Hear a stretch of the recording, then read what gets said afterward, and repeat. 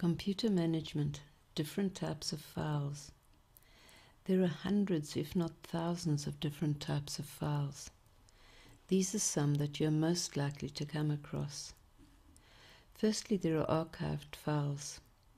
Here, several files are stored as one file.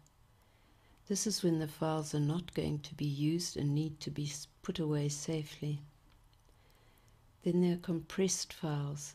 They usually have an extension of .zip or .zip. These files have been made smaller to save storage space.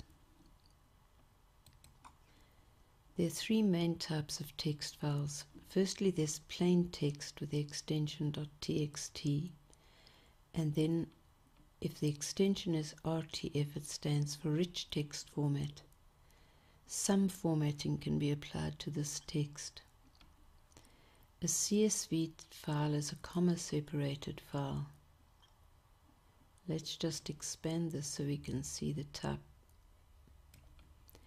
Comma separated values mean that the entire file has been separated with some kind of marker. These files are used when data needs to be exported from one program to another. Web pages are saved in files with the extension .html or .xtml.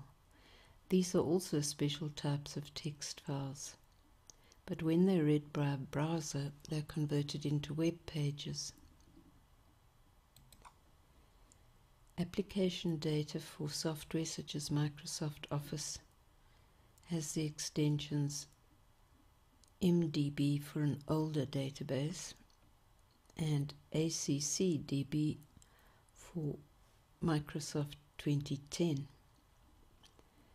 There are spreadsheet files, XLS, PowerPoint presentations, PPT, and Word files. OpenOffice also has databases, presentation files, spreadsheet files, and text files. Applications are programs that could be run on the computer. These file extensions are .com and .exe. There are different formats of graphic files. JPEG or JPG, BMP, bitmaps. Let's just expand this. PNG, which is network graphics and GIF. Movies are generally very large files. Extensions include MPEG, AVI, and WMV. Animation files are usually flash files or shockwave files. Sound files include MP3s and MP4s, as well as Windows Media Audio files with extensions WMA and WAV. And finally, we have a universal type of file. A PDF is a portable document format file. Most software can save a file in this format so it can be read even if you do not have the program which was used to create it. To read such a file, you need to download software called Adobe Acrobat.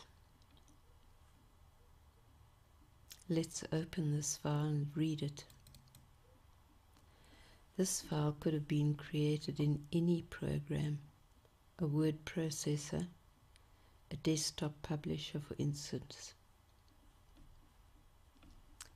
Close the PDF file. Remember that files come in many different types.